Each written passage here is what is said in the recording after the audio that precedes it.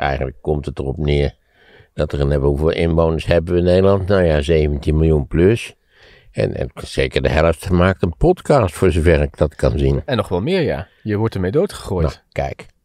Kortom, het is een modeverschijnsel. Ja. Wat ik niet wegneem, dat ik het heel leuk om vind om te doen. Omdat het een van de mogelijkheden is waarbij je lekker door kunt praten. Ja. Zonder voortdurend in de reden te gevallen worden door mensen die vinden dat ze veel belangrijker zijn dan jij. Ja. Dat is Ja. eh, echt, echt ideaal in dit opzicht. Al zijn er ook wel weer mensen die recenseren dan zo'n podcast. Ja. Onze podcast wordt ook gerecenseerd. Bijvoorbeeld Koos heeft deze podcast gerecenseerd. Koos, zo. Heeft Koos geen achternaam?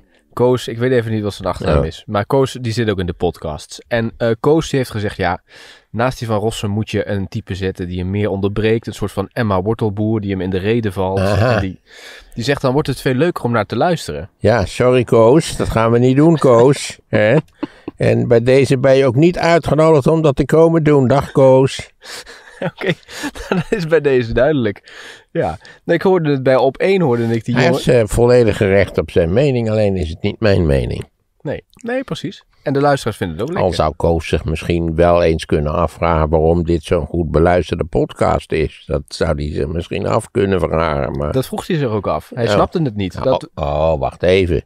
Koos is iemand die het niet snapt. Ja, kijk, dan houdt het op. Dan begrijp je al, Koos is waarschijnlijk afgestudeerd aan zo'n communicatieopleiding. En dat betekent altijd dat ze nergens iets van begrijpen.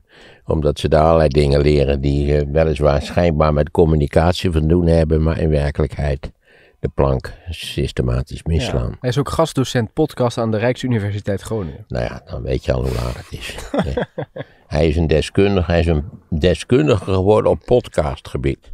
Hij zou zich beter af kunnen vragen waarom mensen eigenlijk naar podcasts luisteren. Dat doet hij dus niet. Hij denkt dus weer dat het een leuk afwisselend spel van meningen moet zijn en discussie. Nee, Koos, dat is helemaal niet de bedoeling. De bedoeling is dat iemand gewoon lekker rustig doorlult over alle mogelijke dingen. Je kunt het gewoon doordraaien als je daar zin in hebt. Dus Koos, hou op met die onzin. Bij deze. Ehm, nou is het wel, hij maakt wel ehm, ook podcasts die prijzen krijgen. Dat doet hij wel. Dat verbaast me niks. Waarschijnlijk zit hij zelf in de commissie die de prijzen uitreikt.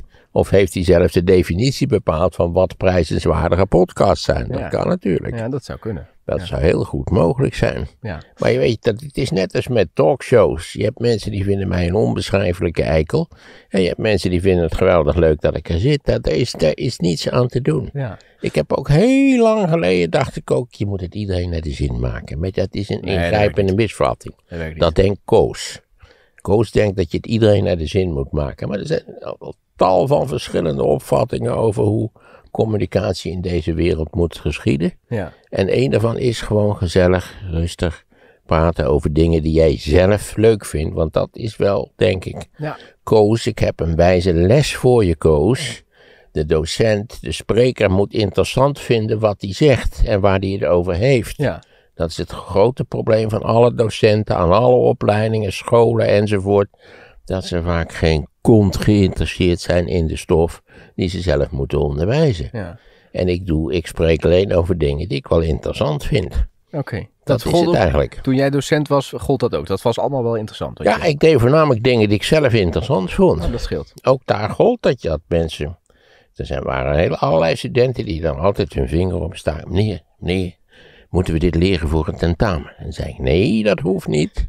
Hè, daarvoor ben ik helemaal niet om iets te leren voor het tentamen. Misschien ook wel leuk, maar ik wil vooral dat u een beetje naleert denken. En dat u een beetje leert om het een met het ander te verbinden.